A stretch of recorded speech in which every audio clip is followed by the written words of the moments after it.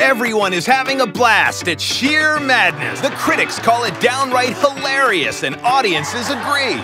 It's absolutely hysterical.